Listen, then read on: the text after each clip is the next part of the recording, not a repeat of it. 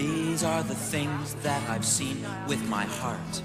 Life is a happy game if you don't forget to smile. But every now and then, Fuck, your face it harbors a frown.